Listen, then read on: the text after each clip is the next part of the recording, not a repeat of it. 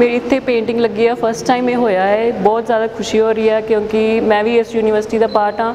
And ਮੈਨੂੰ ਆਪਣਾ art work ਜਿਹੜਾ ਹੈ ਸ਼ੋਅ ਕਰਨ ਦੀ ਲਾਈਕ ਇਜਾਜ਼ਤ ਮਿਲੀ ਆ ਐਂਡ ਬਾਕੀ ਸਾਰੇ ਡਿਪਾਰਟਮੈਂਟਸ ਦੇ ਵੀ ਆਰਟ ਵਰਕਸ ਵੇਖੇ ਆ ਜੋ ਤੁਸੀਂ ਆਪਣਾ ਆਰਟ ਵਰਕ ਸ਼ੋਅ ਕਰ ਸਕਦੇ ਹੋ ਇੱਥੇ ਬਹੁਤ ਵਧੀਆ ਓਪਰਚ्युनिटी ਆ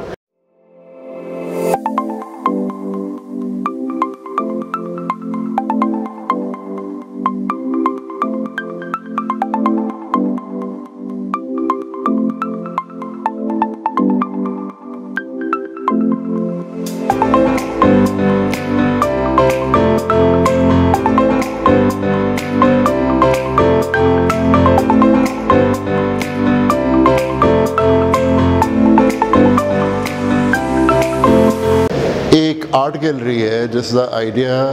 ਗੁਰੂ ਨਾਨਕ ਦੇਵ ਯੂਨੀਵਰਸਿਟੀ ਦੇ vice chancellor doctor Jaspal Singh Sandhu ਹੋਰਾਂ ਨੇ ਕਨਸੀਵ ਕੀਤਾ।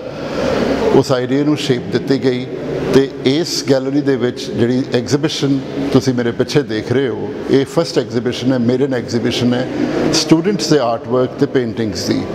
ਸਾਡੇ ਕੋਲ ਇਸ ਲਈ ਤਕਰੀਬਨ ਇੱਥੇ 50 ਪੇਂਟਿੰਗਸ ਡਿਸਪਲੇਡ ਨੇ। ਇਹੋ ਜਿਹੀਆਂ ਐਗਜ਼ੀਬਿਸ਼ਨਸ ਅਸੀਂ ਫਿਊਚਰ ਦੇ ਵਿੱਚ ਵੀ ਆਰਗੇਨਾਈਜ਼ ਕਰਦੇ ਰਾਂਗੇ ਅਰੇਂਜ ਕਰਦੇ ਰਾਂਗੇ ਤੇ ਉਹ ਡਿਫਰੈਂਟ ਡਿਫਰੈਂਟ ਥੀਮਸ ਤੇ ਹੋਣਗੀਆਂ। ਉਹਦੇ ਚ ਜਿਹੜਾ ਮੀਡੀਅਮ ਹੈ, ਉਹ ਵੀ ਇੱਕ ਥੀਮ ਬਣ ਸਕਦਾ ਹੈ। ਅਸੀਂ ਹੁਣ ਇਸ ਤੋਂ ਬਾਅਦ ਇੱਕ ਫੋਟੋਗ੍ਰਾਫੀ ਦੀ ਸਕਲਪਚਰਸ ਦੀ ਡਿਜੀਟਲ ਆਰਟ ਦੀ ਤੇ ਹੋਰ ਇਸ ਤਰ੍ਹਾਂ ਦੇ ਥੀਮ ਤੇ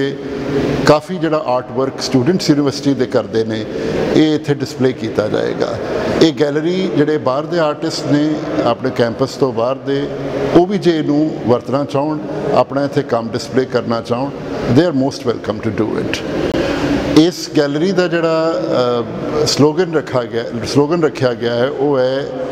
ਹਿਸਟਰੀ ਐਂਡ ਡ੍ਰੀਮਸ ਸੋ ਇਹਦੇ ਵਿੱਚ ਜੋ ਸਾਡੀਆਂ ਆਰਕਾਈਵਸ ਨੇ, ਜਿਹੜੇ ਸਾਡੇ ਪੁਰਾਣੇ ਯੂਨੀਵਰਸਿਟੀ ਦੀ ਹਿਸਟਰੀ ਨਾਲ ਰਿਲੇਟਡ ਕੁਝ ਫੋਟੋਗ੍ਰਾਫਸ ਨੇ, ਉਹ ਵੀ ਇੱਥੇ ਡਿਸਪਲੇਡ ਨੇ।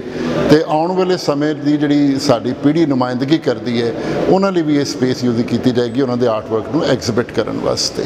ਔਰ ਇਹ ਮੈਨੂੰ ਲੱਗਦਾ ਹੈ ਕਿ ਸਾਡੇ ਜਿਹੜੇ ਇੱਥੇ ਆਰਟਿਸਟ ਨੇ ਸਟੂਡੈਂਟਸ ਇੱਕ ਤੇ ਉਹਨਾਂ ਲਈ ਬੜਾ ਅੱਛਾ ਪਲੇਟਫਾਰਮ ਹੈ ਆਪਣੀ ਕ੍ਰੀਏਟੀਵਿਟੀ ਨੂੰ ਸ਼ੋਕੇਸ ਕਰਨ ਦਾ। ਤੇ ਉਹਦੇ ਨਾਲ ਹੀ ਨਾਲ ਗੁਰੂ ਨਾਨਕ ਦੇਵ ਯੂਨੀਵਰਸਿਟੀ ਜਿਹੜੀ ਆਲਰੇਡੀ ਅਕਾਦਮਿਕ ਤੇ ਸਪੋਰਟਸ ਦੇ ਖੇਤਰ ਦੇ ਵਿੱਚ ਬਹੁਤ ਅੱਗੇ ਹੈ ਔਰ ਈਵਨ ਪਰਫਾਰਮਿੰਗ ਆਰਟਸ ਦੇ ਵਿੱਚ, ਕਿਉਂਕਿ ਜਿੰਨੇ ਵੀ ਐਤਕੀ ਕਲਚਰਲ ਨੈਸ਼ਨਲ ਲੈਵਲ ਦਾ ਫੈਸਟੀਵਲ ਹੋਇਆ ਹੈ, ਉਹਦੀ ਵੀ ਟਰੋਫੀ ਗੁਰੂ ਨਾਨਕ ਦੇਵ ਯੂਨੀਵਰਸਿਟੀ ਨੇ ਦਿੱਤੀ ਹੈ। ਉਹਦੇ ਵਿੱਚ ਜਿਹੜਾ ਫਾਈਨ ਆਰਟਸ ਦਾ ਇੱਕ ਐਸਪੈਕਟ ਸੀ, ਉਹਨੂੰ ਇਨਕਰੇਜ ਕਰਨ ਲਈ ਇਹ ਗੈਲਰੀ ਦਾ ਜਿਹੜਾ ਕਨਸੈਪਟ ਹੈ ਉਹ ਇਸ ਯੂਨੀਵਰਸਿਟੀ ਦੇ ਵਿੱਚ ਇੰਟਰੋਡਿਊਸ ਕੀਤਾ ਗਿਆ ਇਹਦੇ ਨਾਲ ਇੱਕ ਇਹ ਵੀ ਹੋਏਗਾ ਕਿ ਜਿਹੜੇ ਇਸ ਯੂਨੀਵਰਸਿਟੀ ਦੇ ਸਟੂਡੈਂਟਸ ਨੇ, ਜਿਹੜੇ ਆਰਟਿਸਟ ਨਹੀਂ ਵੀ ਨੇ, ਉਹਨਾਂ ਦੇ ਵਿੱਚ ਅਸੀਂ ਇੱਕ art of appreciation of art the culture ਜਿਹੜਾ ਉਹਨੂੰ ਕਲਟੀਵੇਟ ਕਰਨ ਦੀ ਇੱਕ ਕੋਸ਼ਿਸ਼ ਹੈ, ਜਿਹੜੀ ਕਿ ਮੈਨੂੰ ਯਕੀਨ ਹੈ ਕਾਮਯਾਬ ਹੋਏਗੀ।